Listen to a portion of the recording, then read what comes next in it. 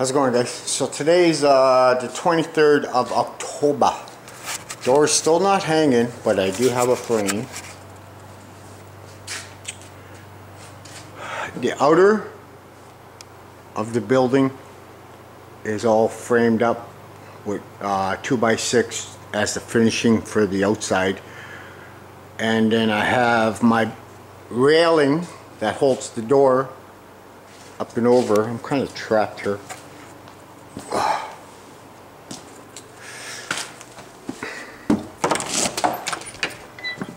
Still can't see it. Anyway, so uh, so that's all finished there. I got maybe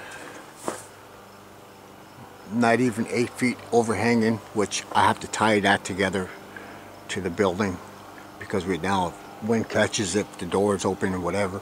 But um, I still have to bolt those hangers up there. Other than that, um, she's good. Now I, I leveled off one part of the door. That one there, I just left it. It's off a tiny bit, but that's all right. This one here, all the way to the top. Let me try to zoom into this.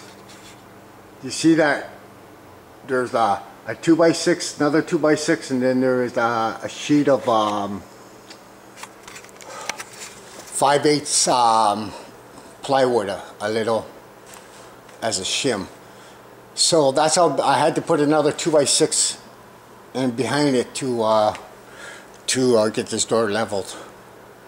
Um, I didn't have to level it, but it just bugged me because it wasn't, uh, it was leaning inwards. So here it's flush. There I got a 2 by uh, or a 5 8 plywood there. I'll go up a little higher. It might be a 2 by 6 plus or less than 2, but maybe three three sheets of um, plywood. Maybe two, I'm not sure yet. Uh, the header's all done. Um, and that, so um, it's all tied in. The walls, the front walls and the side walls are tied in now. The roof line, the roof line, and all three walls are one, two, all four or two corners are all tied in. So there's no more. It doesn't do this no more. It doesn't do this no more. Um, it doesn't shift to the left and right. It doesn't want to go forward anymore. So I still have to put a strapping you know, from one um, joist to another joist and um, good to go. But I got this frame built and um, what I did was I was using a bunch of um, 24 of these. Actually I had 20 and I thought I ordered 24 so they delivered four to me. Um, just little spikes, right? So I figured stronger than nails and believe me it is um, and then a bunch of these nails that are made to go through this stuff here uh, Steve gave me a box full and then um, so I did everything. All these two uh, studs are 145 inches long. All one two three four five six and all six of them are the same length. And um, and so as I was going I had to use a ratchet strap to uh, to pull it in because uh, I had a big crown on this 2x6 so um, I had to uh, ratchet in and then pull it out. So the crown's gone now. But that's what you do right? You know if you're building a house uh, say you're building your floor you're not going to have the crown going downwards. You're going to have the, the crown going upwards because uh, it'll eventually, by the time you tie everything down, she'll be uh, good to go. So, but yeah, so that's where I am. And then last night, there Steve was here for a bit, so we uh, farted around, played around, and um, he mentioned strapping, and um, so that's what we got going on. Is a crisscross right now.